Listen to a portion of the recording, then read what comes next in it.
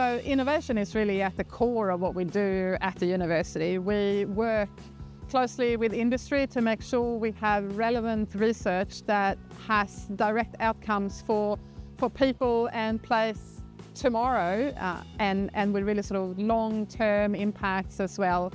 Uh, the research that we do specifically here with our beautiful seaweed uh, will have long-term implications for how we manage our food production systems in, in New Zealand. And uh, we're very excited about doing this, uh, this work with all our local collaborators.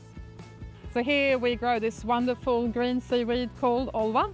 Uh, at the moment, our main focus uh, is around the sugars in the seaweed that we are using to uh, promote a stronger immune system in plants, uh, which is really exciting, a very large research program with lots of national and international collaborators.